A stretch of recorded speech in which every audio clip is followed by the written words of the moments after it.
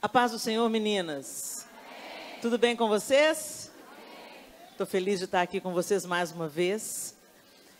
E eu já vou pedir para que esse som que a gente ouviu aqui ganhe imagem. Será que vocês já podem projetar, pessoal da mídia, a imagem que eu pedi para vocês, por favor?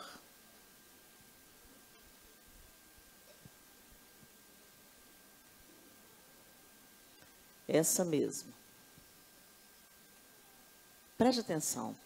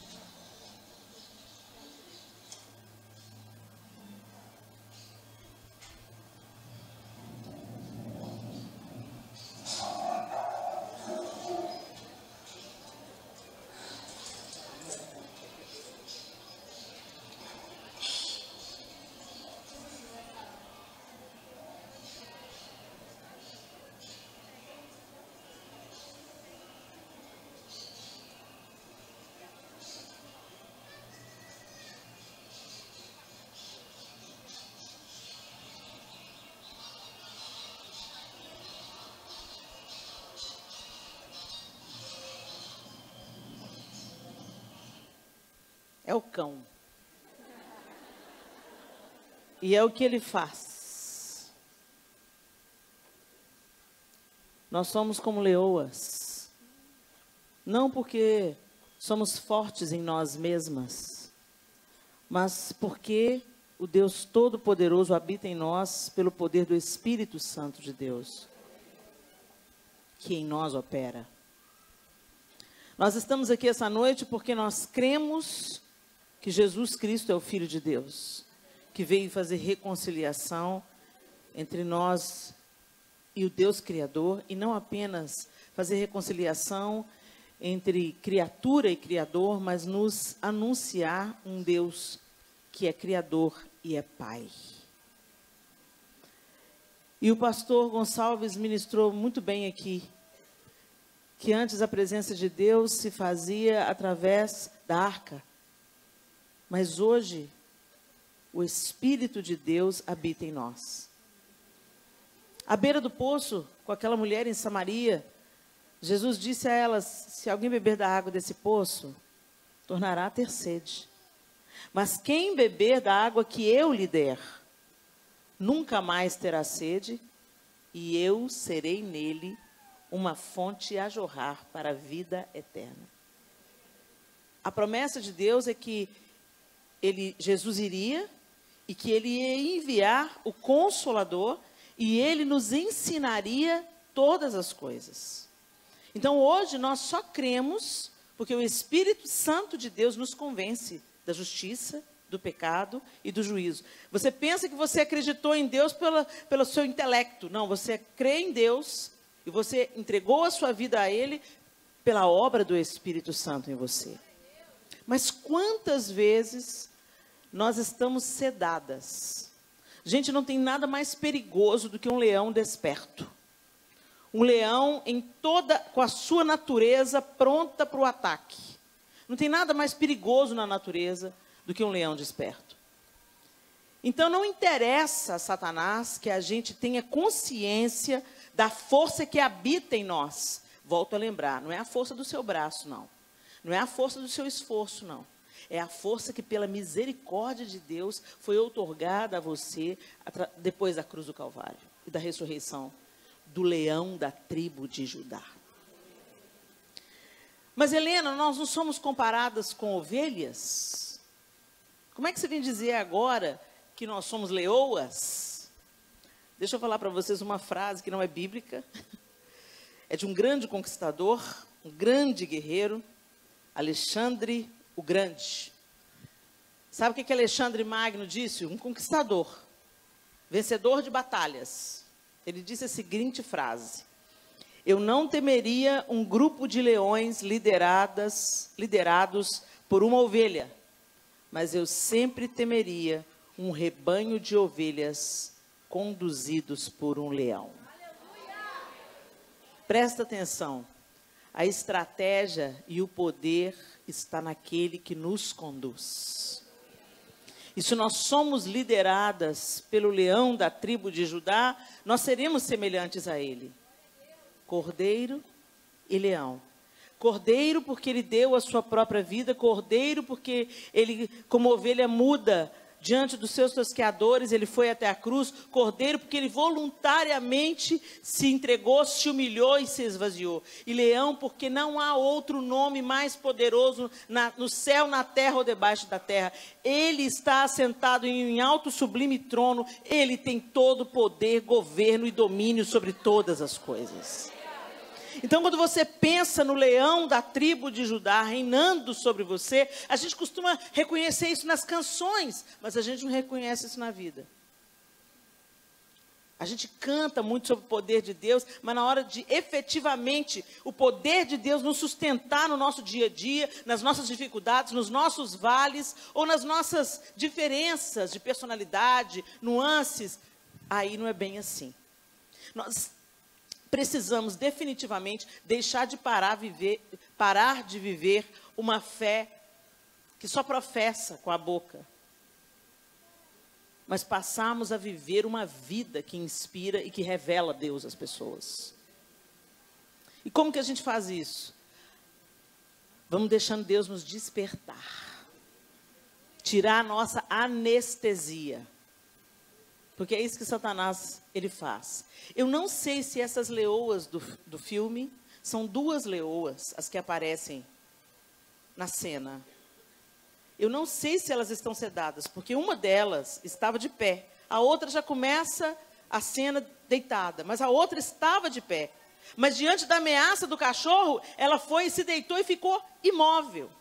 Eu não sei se elas estavam sedadas, mas provavelmente elas estavam sob o efeito de alguma coisa, porque a natureza da leoa não seria aplacada por um cachorro. Só com uma patada dela, aquele cachorro virava fatia. Mas às vezes nós damos espaço para que a anestesia de Satanás, o sedativo de Satanás, nos paralise na nossa vida espiritual. São muitos os sedativos, são muitas as anestesias. A distração, o entretenimento, a vaidade. Gente, tudo que é excesso, tudo que é excesso. O único excesso que você pode ter é amor devotado ao Senhor. Porque o resto, tudo em excesso, se chama idolatria. E toma a primazia de Deus na nossa vida. E isso é anestesia fácil, instantânea, e Satanás deita e rola como a gente viu no filme. Mas eu queria levantar nessa noite uma anestesia que a gente viu ao longo de toda a Bíblia, uma sedação que tira o homem, a mulher de Deus, do propósito de Deus e mantém ele na ignorância e impedido de agir contra as obras do diabo. Eu estou falando da comparação. Como nós nos comparamos. Como a gente mede o nosso valor pelo valor do outro. Se a outra está mais bem vestida do que você, você se sente menor. Se a outra está mais loura do que você, você se sente menor. Se a outra está mais magra do que você, ah, meu Deus. Se a outra é mais jovem, se a outra tem um talento que se destaca mais do que o seu, ah, e a gente vive nutrindo a comparação. E isso não é de hoje, não. Isso existe desde que o mundo é mundo. Abra sua Bíblia aí, em Gênesis capítulo 4. Gênesis 4. E nós vamos ler do verso 1 ao verso 6, e eu vou ler na linguagem NVI. Adão teve relações com Eva, sua mulher, e ela engravidou e deu à luz Caim. Disse ela: Com o auxílio do Senhor tive um filho homem. Voltou a dar à luz, desta vez a Abel, irmão dele. E Abel tornou-se pastor de ovelhas e Caim, agricultor. Passado algum tempo, Caim trouxe do fruto da terra uma oferta ao Senhor. Abel, por sua vez, trouxe as partes gordas das primeiras crias do seu rebanho. O Senhor aceitou com agrado Abel e sua oferta, mas não aceitou Caim e sua oferta. Por isso Caim se enfureceu e o seu rosto se transtornou. O Senhor disse a Caim: Por que você está furioso? E por que se transtornou o seu rosto? Se você fizer o bem, não será aceito? Mas se não o fizer, saiba que o pecado o ameaça a porta. Ele deseja conquistá-lo, mas você deve dominá-lo. Vamos até aí. Lá, ó, na primeira família instituída. Gente, um cuidava de rebanho, de ovelhas. Um era pastor de ovelhas. O outro era agricultor. Tem comparação, gente? Não. São coisas completamente distintas. Mas por que, que Deus aceitou a oferta de Abel, mas não aceitou a oferta de Caim? Por causa do coração por trás da oferta. Não se trata do produto da oferta. Deus sempre sonda o coração. Você se lembra quando Deus foi mandou Samuel e ungir Davi? Ele manda Samuel e ungir Davi. Quando Samuel bate o olho em Eliabe, pensa assim: "Uau, eis aí o ungido do Senhor, tem porte de rei, tem cara de rei. É esse aí". E o Senhor fala assim: "Não, não, não, Samuel. Não olhe para a aparência, porque eu olho o coração. E eu rejeitei ao coração de Eliabe. Então Deus está mais interessado naquilo que está no nosso coração, nos nossos pensamentos, nas nossas motivações, do que na nossa aparência de justiça. A nossa aparência de justiça não engana Deus. E Ele está sondando é o nosso coração. É no nosso coração que Ele está interessado, nos nossos pensamentos, naquilo que motiva as nossas atitudes. E nós somos facilmente enganados pelo nosso próprio coração. A Bíblia nos adverte contra o perigo do nosso coração. Ele diz que o nosso coração é desesperadamente corrupto. Então, todos os dias a gente tem que passar a nossa motivação diante do crivo do Senhor. O que, que é que eu estou querendo com isso, Senhor? A gente precisa fazer umas perguntas para a gente mesmo. O que está por trás desse desejo? É legítimo? É agradável ao Senhor?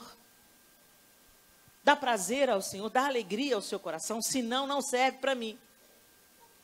Mas o que que o que, que o problema aqui não foi a oferta se aceita ou não se aceita. Porque quando eu fico imaginando, meninas, quando Deus pergunta: "Por que você está furioso?" Gente, não era, ele não era Deus? Você acha que Deus não sabia por que, que Caim estava furioso? Vocês, têm, vocês acham que Deus não sabia? Ah, por que será que Caim está furioso? Deus estava dando a Caim a oportunidade de confessar o que estava dentro do coração dele. Deus estava dando a Caim a oportunidade de se arrepender. Eu fico imaginando como é que seria a história se Caim falasse: Sabe o que, que é, Deus?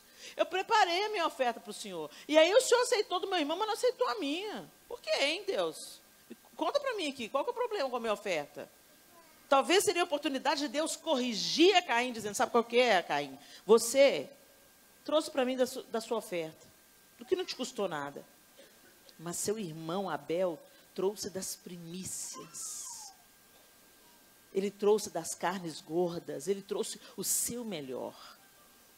É tanto isso, gente, que Deus continua falando. Se você não fizer o bem, você também não vai ser aceito. Deus está dando a dica para Caim. Presta atenção, você pisou na bola. Você não me reconheceu como seu Deus, como aquele que te dá todas as coisas. O seu irmão, com com a oferta dele, ele me adorou, ele me cultuou, ele me reconheceu, ele se chegou a mim. Mas você, você está confiando na força do seu próprio braço, você está pensando que você cuida, você é que cuida da, da, de ser agricultor, eu te dei o dom, eu te dei o talento, e você me dá qualquer coisa. Mas ele não queria correção, ele queria vingança. E ele começou a se comparar. E à medida que ele se comparava com o irmão, o coração dele ia azedando cada vez mais. Deus alertou: olha, o pecado jaz à porta. E cabe a você dominá-lo. A gente fica orando para Deus e fala assim: oh Deus, tira essa tentação da minha vida. Oh Deus, por que, que eu gosto do fulano? Ele é um mau elemento. Tira ele do meu coração. Tira você ele do seu coração. Arranca ele, põe para correr. Tem coisas, gente, que a gente é que vai fazer, sabe? Gente, Deus é todo poderoso para fazer, é, mas nós andamos em parceria com Deus. Quando Jesus foi ressuscitar Lázaro, ele olha para a pedra e fala: tirem a pedra. Jesus tinha condição de fazer assim, ó, e a pedra voar longe. É ou não é? Mas ele falou: tirem a pedra. Quer dizer, tem um trabalho que é para você fazer. Tem um trabalho que é nosso para ser feito. O outro lá, ele vai lá, cospe na, na terra, passa no olho do cego. Tantos outros cegos, ele falou, o leproso, ele falou, eu quero, fica limpo. Ficou limpo. Mas para outro ele fala, vai lá e se lave. Vem cá, passou no olho dele a lama, vai lá, lava na fonte. O profeta Eliseu tinha o poder de curar Naamã? Certamente que sim. Mas ele fala: não, vai lá e mergulha sete vezes no Jordão. Tem um trabalho que é nosso. Tem uma renúncia que é nossa. Tem uma parte aqui de negar a nós mesmos. Por isso que Jesus falou: quem quiser vir após mim, negue-se a si mesmo, tome a sua cruz e siga-me. Ou seja, tem uma parte na nossa relação com Deus. Gente, relacionamento não é um arrastando o outro nas costas. É os dois caminhando juntos. Eu gosto dessa música a Dança da Noiva porque eu imagino Jesus dançando com a gente. Há uma parte na dança, né? É uma dança em parceria. Nós estamos interagindo. Imagina num relacionamento, num casamento onde só você fala, só você trabalha, só você se dá, só você se empenha. Encha a paciência, não vai durar. No relacionamento com Deus não é diferente. Tem uma parte que cabe a nós. Mas a gente quer que Deus faça tudo. Mas Deus não é milagroso? Ele não pode fazer milagre? Ele não pode mudar minha vida? Pode, mas você pode também deixar de comer açúcar.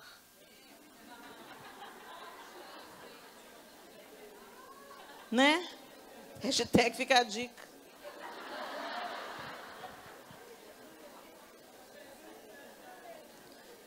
E a gente sempre acha que Deus está devendo para a gente alguma coisa. Mas Deus a doença de Caim. A doença de Caim. Mas peraí. Por quê? Por quê que ele aceitou do meu irmão, não aceitou a minha? E, gente, isso é só, isso é só um exemplo. A Bíblia está recheada desses exemplos. Dessa comparação, dessa competição, dessa inveja. Vamos lá para outra. Abre aí. 1 Samuel 18. 1 Samuel 18. E nós vamos ler do 6 ao 8.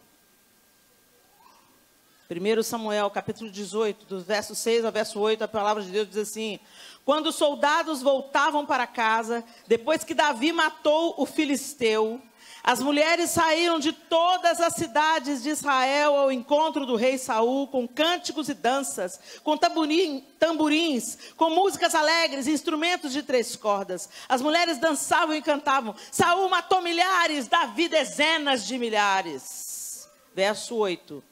Saul ficou muito irritado com esse refrão. E aborrecido disse: Atribuíram a Davi dezenas de milhares mas a mim apenas milhares. O que mais lhe falta senão reino? Daí em diante, Saul olhava com inveja para Davi. Presta atenção. Davi tinha acabado de vencer uma batalha para Saul. Os soldados de Saul estavam borrando as calças. Golias vinha e afrontava o exército de Israel. Era um vexame que poderia correr por toda a região. Nenhum homem se atrevia a enfrentar Golias. Deus levanta Davi, leva Davi por Davi foi para o campo de batalha por acaso. O pai mandou ele para levar provisão para os irmãos. Ele não foi lá para enfrentar Golias. Ele foi lá para trazer notícias, para acalmar o coração do pai e levar provisão para os irmãos. Quando chega lá, ele se depara com aquele quadro de Golias ofendendo as tropas de Israel e os homens quietinhos. E Davi entendeu o propósito dele ali. E o próprio Saul ofereceu para Davi a sua armadura e Davi tentou andar com a armadura, não deu certo, devolveu para ele. Não, essa é sua armadura. Deus deu uma, um, um jeito para cada uma de nós. A armadura servia para Saul, não servia para Davi. Quando Davi tentou usar a armadura de Saul, não conseguiu andar, era muito pesado, ele não tinha habilidade para aquilo. O que, que, ele, que, que Davi sabia fazer? Mexer com pedra e funda. Aí você despreza. Não, mas o que, que eu vou fazer com isso que Deus me deu? Davi podia ter falado mesmo, né? Mas olha lá o tamanho do homem. E ainda tem um escudeiro na frente dele. Como é que eu vou chegar nele? Se ele tivesse com uma espada, Davi não ia ter que enfrentar só Golias. Davi ia ter que enfrentar primeiro o escudeiro de Golias. Ele ia ter que matar, passar pelo escudeiro de Golias. Para depois enfrentar Golias, que era humanamente impossível ele enfrentar. Então precisava de ser a ferramenta de Davi, uma pedra, com uma boa pontaria. Eu fico imaginando a atitude do escudeiro. Toda vez que eu leio, leio esse capítulo, é, eu faço uma cena de filme na minha cabeça. Eu nunca prestei atenção se os filmes já retrataram isso. Eu imagino o escudeiro, Golias zombando, o escudeiro olhando Davi vindo, falando assim, lá, tadinho do menino, gente, nós vamos esfarelar ele. De repente o escudeiro, tu, tu, tu,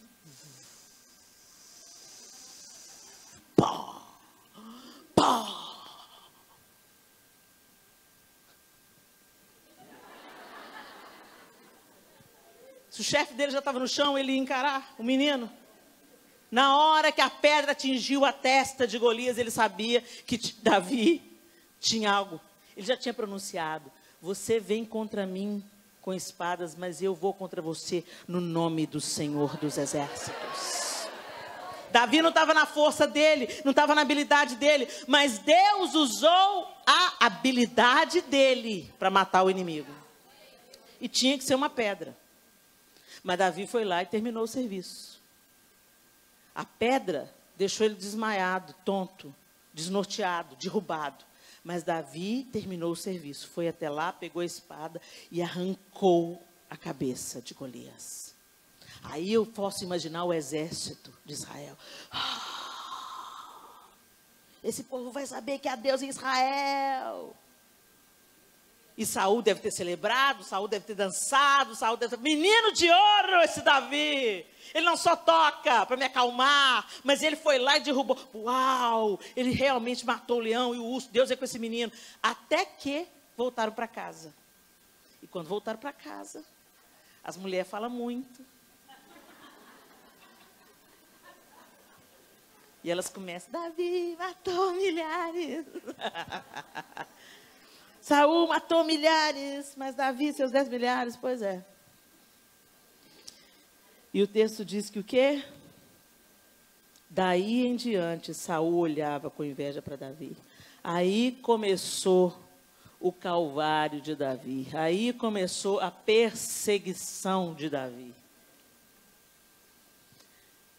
Ah, Saul. Ah, Caim como vocês estão presentes aqui no nosso meio. Quantas de nós estamos sedadas pela comparação? Quantas de nós têm dons, têm talentos, têm possibilidades?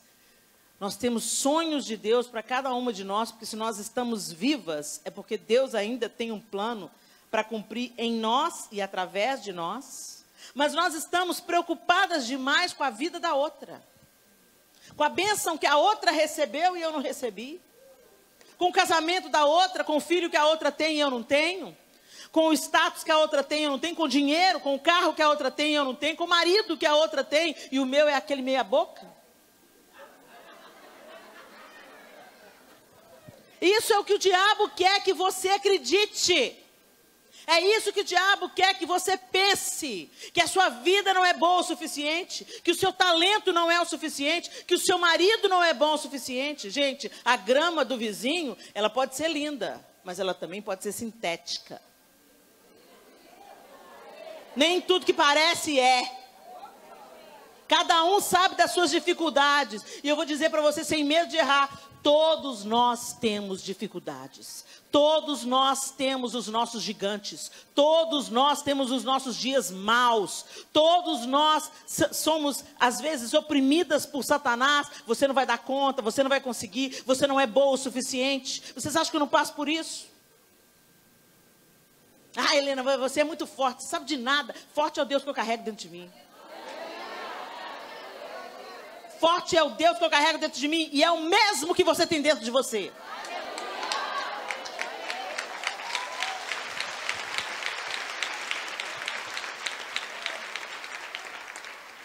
Mas hoje a gente vive essa vida estimuladas pela comparação, pela competição. O que é comparação, segundo o dicionário? Ato de examinar conjuntamente dois objetos, dois elementos, etc. Para procurar as diferenças e semelhanças, o fazer um juízo de valor. Comparar-se, igualar-se, assemelhar-se, confronto, disputa, competição.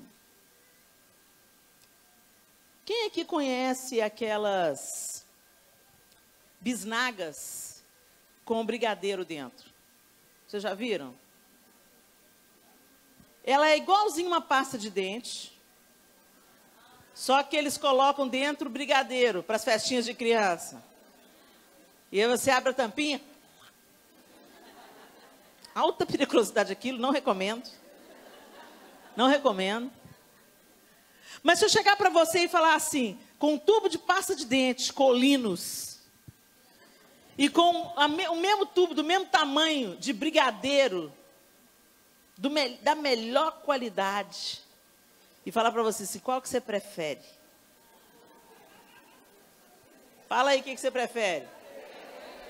Deixa eu ver, vamos fazer uma pesquisa. Quem prefere colinos? Quem prefere brigadeiro? Muito bem. Alguém aí já ficou sem pasta de dente?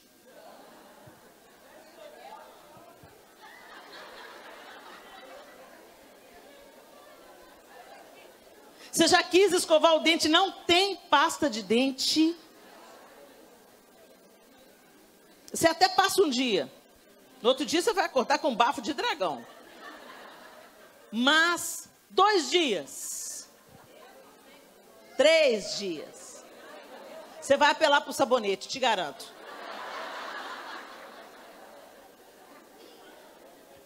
O fato é que você não sente falta porque você sempre tem.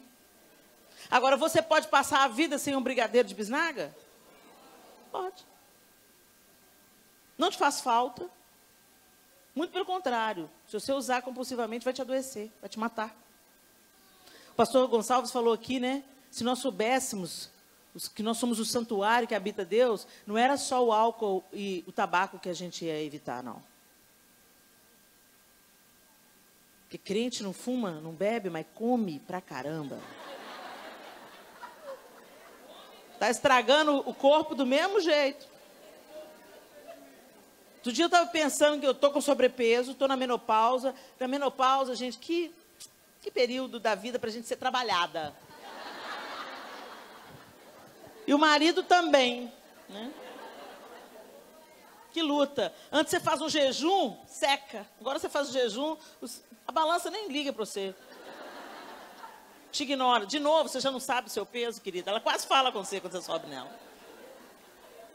Nenhum nem um grama se move naquela balança abençoada. Né? É incrível. Agora eu descobri que aí a gente está com sobrepeso. E aí, o sobrepeso é o seguinte: você consegue andar na vida com cinco, um saco de 5 quilos de arroz, um braço, outro no outro? Você consegue um tempo, né, gente?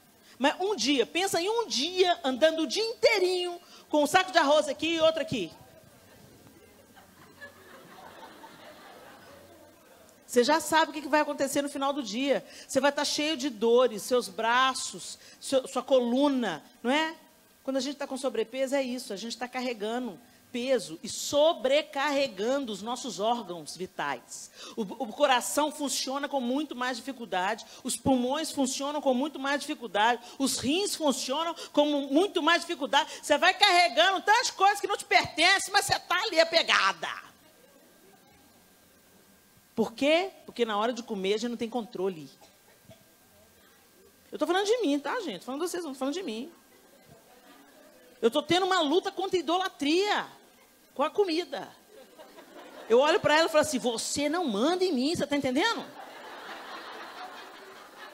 Você não manda em mim. Você acha que o diabo vai mandar as ordens do inferno? Não, ele só manda uns brigadeiros para você. Você vive menos. Lentamente, deliciosamente. Pecado é bom, mas é mortal. Se pecado fosse bom, a gente não tinha problema com resistir ao pecado, não. Pecado dá prazer por um tempo, mas ele vai custar um preço caro. Tem certas coisas que a gente vai acostumando na vida. E uma das coisas que a gente vai acostumando na vida é a comparação. É a inveja. Todo mundo faz. E é um pecado secreto. Que é só aqui na sua cabeça. Então você sorri para sua amiga. Ai, gente, comprei um carro novo. Comprou. Que bênção! Que bênção!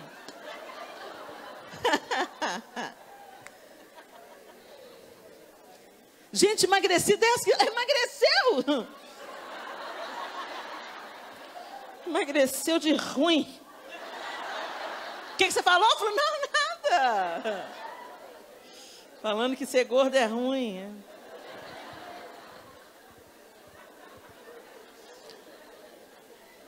É.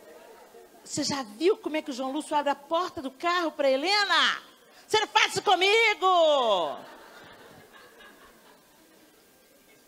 Para de olhar para a vida do outro.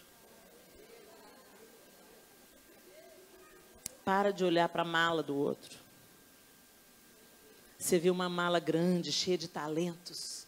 Poxa, Deus deu tantos talentos para fulana. Ela dança, sapateia, pendura na corda, é bonita, magra, jovem. Cigarro um ódio. Mas você não sabe os conflitos que ela vive. Você não sabe as orações não, re, não respondidas que ela tem. Quantas meninas que eu olho para elas e falo, nossa, que menina perfeita, que menina linda. Aí ela tira um tanto de selfie, selfie. Por que você não está postando? Não, porque eu estou horrível. Estou horrível nessa, estou horrível nessa, estou horrível nessa. É um estado de endemoniamento, igual a Helena Raquel ensinou aqui ontem. Você não vive a vida, ou então tem aquelas que são tão, precisam tanto de provar que são boas para as outras, que não vive a vida. Fica só postando. Põe filtro, levanta o queixo para tirar a papada. Tem toda uma técnica. Põe o ombro para frente, levanta o queixo, escolhe o lado bom. Tudo mentira. Quando você chega perto é aquela decepção. Você ah, aquela decepção você chega e fala assim, olha, não é aquilo tudo não.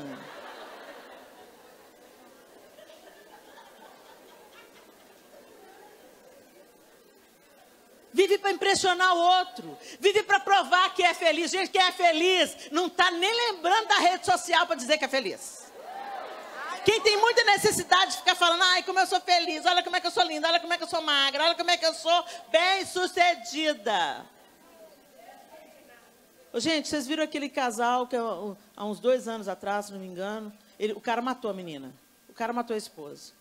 Quando você via as fotos dos dois no Instagram, você nunca acreditava que aquele casal tinha problema? Você nunca acreditava que eles viviam uma crise? Nunca, todo mundo bonito, bem vestido, roupa de inverno, ah, fashion.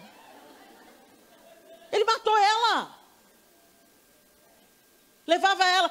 Eu conheço um casal que ele levou ela para Paris. As mulheres ficaram tudo ruendo de inveja. Chegou lá em Paris, foi para terminar o casamento.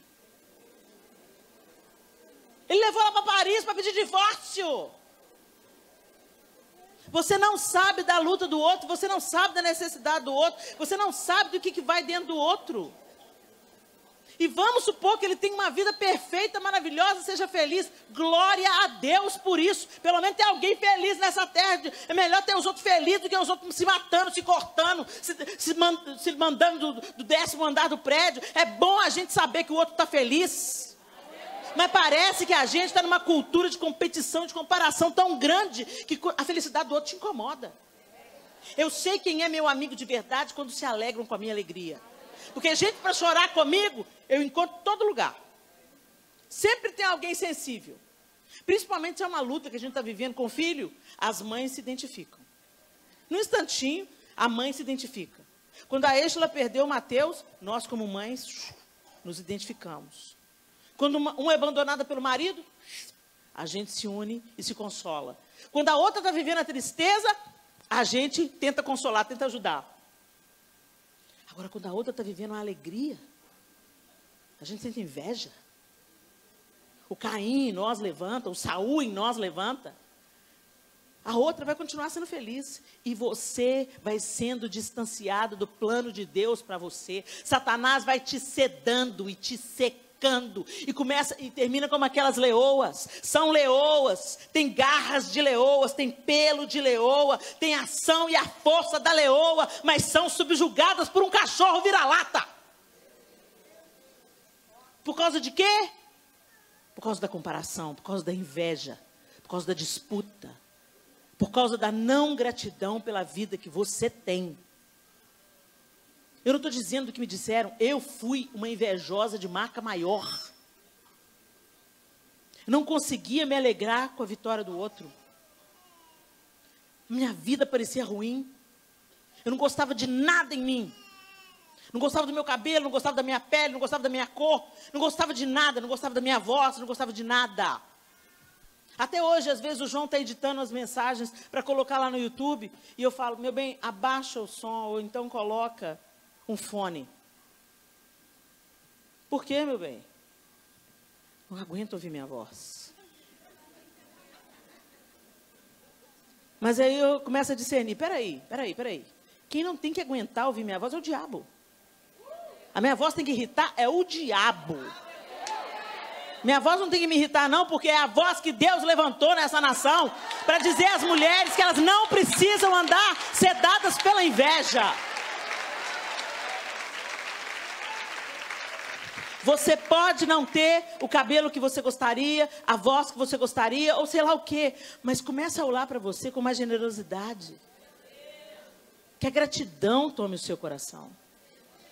E que você entenda que você não tem que se tornar outra pessoa para Deus te usar. Deus vai te usar do jeito que você é. Você foi forjada por Deus de uma maneira singular. E é nesse modelo aí que Deus quer te usar.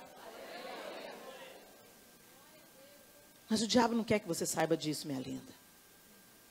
Então ele sempre vai chamar a sua atenção para o talento da outra, para a vida da outra, para o dom da outra. A outra é a outra, você é você. Por que, que você está se comparando? Não dá para comparar brigadeiro com pasta de dente. Cada um tem a sua utilidade, cada um tem o seu propósito. São coisas diferentes. Pode estar numa embalagem muito parecida, são coisas diferentes. Cada um tem um papel magnífico no plano perfeito de Deus. Eu fico imaginando, se as pregadoras tudo fosse igual a Helena. Ninguém aguenta o lombo, gente. Ninguém aguenta só apanhar. Teve uma vez que eu falei para Deus, oh Deus, você podia me dar uma palavrinha mais leve? Uma palavrinha mais assim, Deus vai te, Deus vai te levantar, Deus vai te prosperar só flores, lá, lá, lá, lá, lá. Só podia me dar uma voz assim, igual a Dona Paula. Ô, oh, querido, tudo bem? Né? Meiga. Não. Deus vai te usar nesse modelo aí, ó. Entendeu? Porque tem que ter de tudo, gente. Tem que ter. Olha, olha para as frutas. Olha que coisa linda, a diversidade de Deus. Imagina se tudo fosse só melancia, gente. Que falta que a mexerica faz? Olha para o limão, para a laranja, para a mexerica, para a jaca, pinha, maçã, pera, uva, não gosta de uva. Isso, é isso mesmo. Você não tem que gostar de todo mundo. Você não tem que ser unanimidade também. Tem gente que vai amar você, tem gente que vai detestar. Tem gente que vai falar assim: ah, não, essa aí que a Helena tá nuda, eu prefiro a Raquel. Prefiro a Helena a Raquel. Joia! É tudo, não é sobre nós, não é sobre a Helena, Tanura ou Helena, Raquel. É tudo sobre aquele que a gente carrega. É tudo sobre ele. Não tem disputa, não tem comparação. E o lindo é que ontem eu vim e como Deus me visitou através da vida da Helena. Como eu fui ministrada, como Deus me transbordou. Porque eu entendi, eu custei, mas eu entendi que eu não estou disputando com ninguém. Eu não tenho rivais. Eu sou filha única, singular. Deus me fez de uma maneira única. Deus te fez de uma maneira única. E o diabo não quer que você descubra o poder de fogo que você tem. Então ele começa a te distrair, começa a te sedar e começa a te deprimir, te oprimir e dizer: você não é boa o suficiente, você não sabe falar, você é grosseira, você é escandalosa, você ri alto demais, ai, você fala muito baixo, ninguém nem te escuta, inexpressiva. E aí você vai acreditando nas mentiras do diabo. Eu sou o que a Bíblia diz que eu sou, eu tenho o que a Bíblia diz que eu tenho, eu posso fazer o que a Bíblia diz que eu posso fazer. Eu sou filha do Deus eterno, reconciliada com ele pelo meu irmão mais velho. Eu posso todas as coisas naquele que me fortalece. Sai desse lugar de coitadismo. A Bíblia fala sobre nós negarmos a nós mesmos. A autonegação não tem nada a ver com autocomiseração. Autonegação é você abrir mão de um direito para que outra pessoa seja abençoada é caminhar a segunda milha, dar a túnica e a capa, é calar a boca na hora que você tem vontade de responder. É abrir mão de você, da sua vontade, para que a vontade de Deus prevaleça e o nome dele seja glorificado. Isso é autonegação. Essa é a vontade de Deus, esse é o propósito de Deus para todas nós. A autocomiseração é a outra face do orgulho. Ninguém me ama, ninguém me quer, ninguém me convidou, ninguém me cumprimentou, Ninguém curtiu a minha post. Eu não tenho seguidor no Instagram. Gente.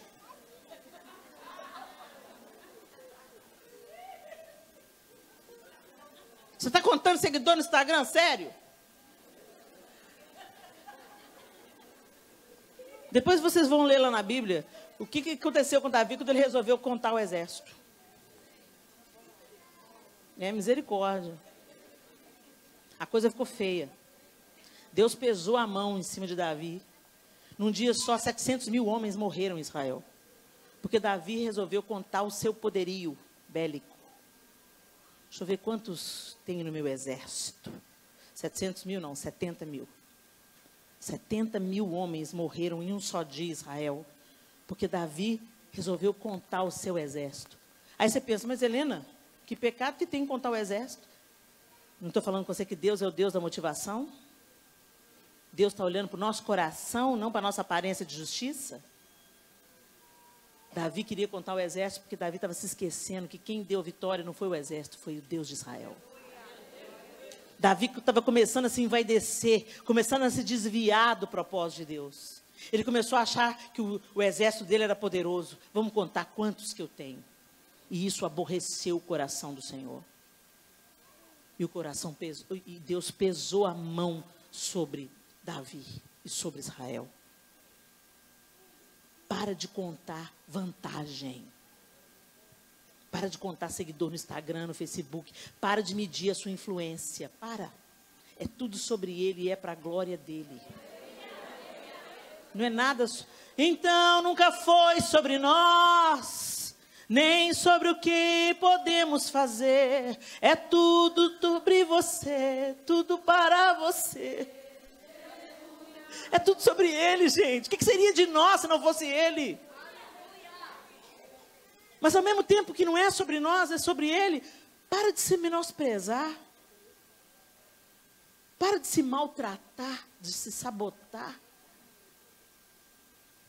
Não seja mal agradecida. Deus tem te dado vida. Deus tem te dado saúde. E se você não está com saúde, Deus te deu, deu, deu força suficiente para você vir aqui hoje.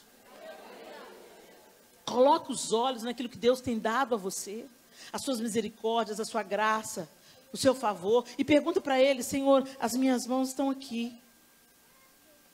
Às vezes com duas sementinhas. Às vezes você olha para a mão da sua irmã, ela está cheia de sementes. Mas às vezes gente cheia de semente não semeia. E gente com duas sementinhas dá tudo. Dá o tempo, dá o amor, dá o empenho, dá o talento, dá o coração. Semeia, semeia, semeia. Semeia alegria, semeia esperança, encorajamento. Faz visita em hospital. Não menospreza, minha linda, o que Deus te entregou. Não deixa Satanás sedar você. Porque é esse, é isso que aconteceu no filme que acontece. Ele nos pisoteia, ele nos intimida, ele nos subjuga. Mas ele já foi vencido na cruz do Calvário.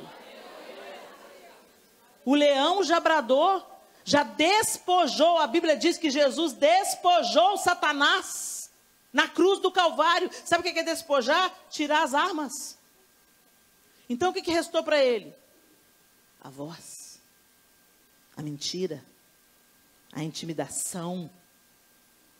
Ele ruge, ele fica como um leão que ruge ao nosso derredor, buscando a quem possa tragar. Mas o leão da tribo de Judá já é o nosso defensor. Ele já lutou e já venceu. Então Satanás trabalha com as armas que a gente coloca na mão dele. Nós empoderamos Satanás na nossa vida quando nós não ouvimos o que Deus diz a nosso respeito e acreditamos nas mentiras bem contadas de Satanás. Você não tem que parecer com ninguém, você tem que ser você mesma. Descobrir o seu propósito, descobrir o seu chamado, entrar nessa trincheira de batalha e fazer o melhor que você pode para a honra e para a glória do nome do Senhor. Deixa Ele usar você, deixa Ele levantar você. Mas na comparação, a gente pode terminar como Saul. Caim se tornou um assassino.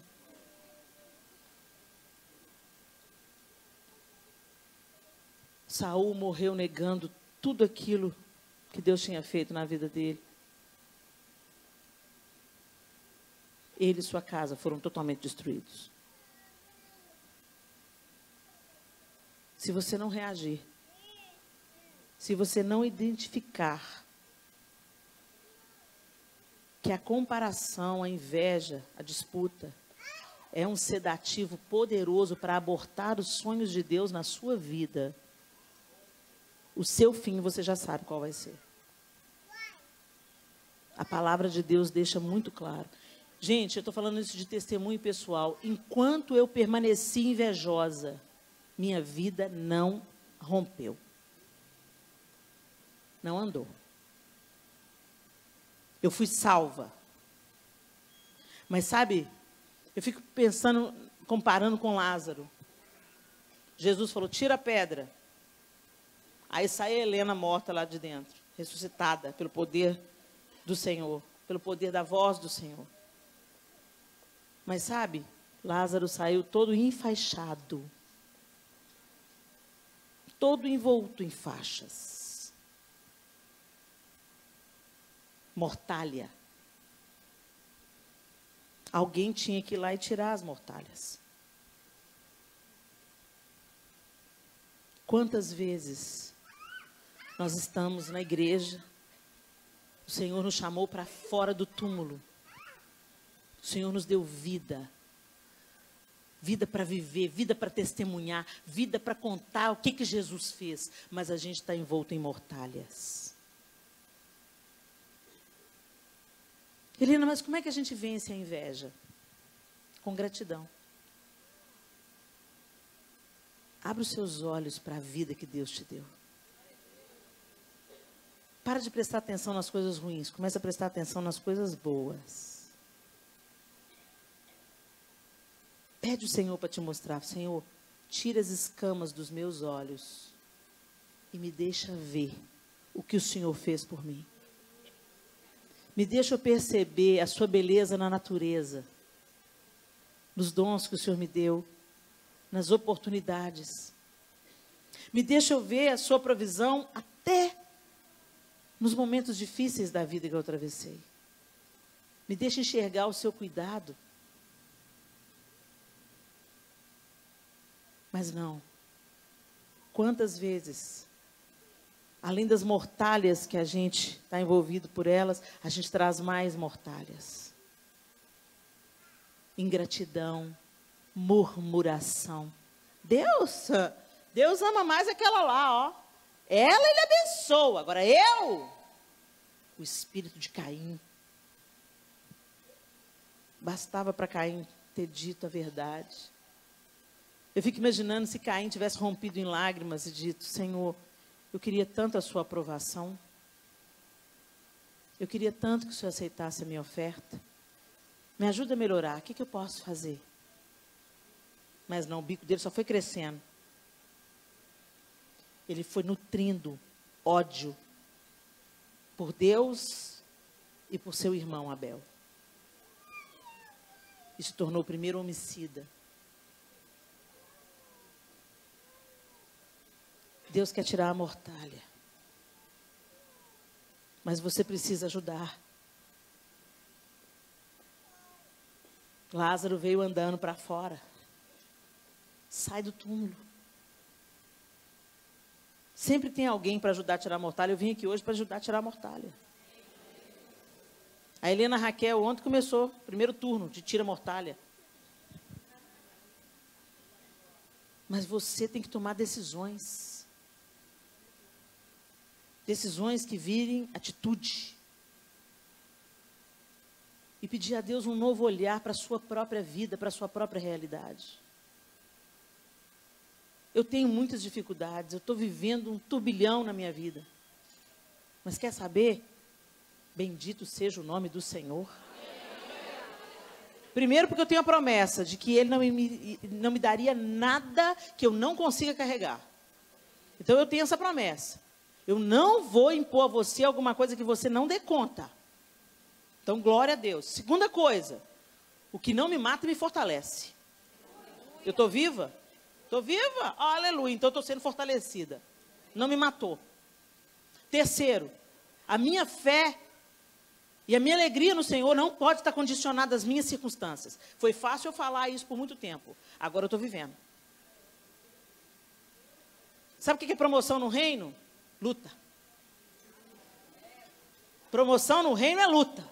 Não é título, não é multidão, não é seguidor no Instagram, não é você ficar famoso. Isso aí é subproduto da obra de Deus em você. Eu dava tudo para as pessoas não me reconhecerem. Coisa boa você entrar e sair de um lugar sem alguém te pedir uma foto. É libertador. Coisa chata. Tá, você está saindo do aeroporto, todo com olheira, bafão, cabelo amarrado aqui, jeans rasgado e aparece uma santa. Fala, Linda Danuri, tira uma foto comigo. Cada um com seus problemas, né? O que eu estou querendo dizer? Deus tem um propósito na sua vida. Coisas difíceis não vão parar de acontecer. Dá um aleluia, pode dar. Ale... Coisas difíceis não vão parar de acontecer. Ale... Não pode dar um aleluia. Levanta um aleluia. Dá um aleluia aí. Porque se Deus está te trabalhando, se Deus está te treinando, se Deus está esticando a sua musculatura espiritual, é porque vai sair coisa boa. Quando ele vai prensando a azeitona, é que sai óleo. Então deixa Deus te prensar, porque vai sair cura para as outras pessoas, vai sair remédio para as outras pessoas. Confia, confia. E para de se comparar. Todos nós aqui temos, temos períodos que Deus nos eleva, que Deus nos premia, que Deus nos consola, que Deus mima a gente até. E aí, quando você está bem, bem acostumadinho assim com. Ai, Deus é lindo. Ele fala assim: gostou, filhota? Então agora vamos lá para o vale. Vem com o papai. É alto da montanha, fundo do vale. Alto da montanha, fundo do vale. O legal é isso, essa dinâmica. Sabe por quê? Pensa no eletrocardiograma. Se a sua vida não tiver altos e baixos no monitor, é porque você morreu.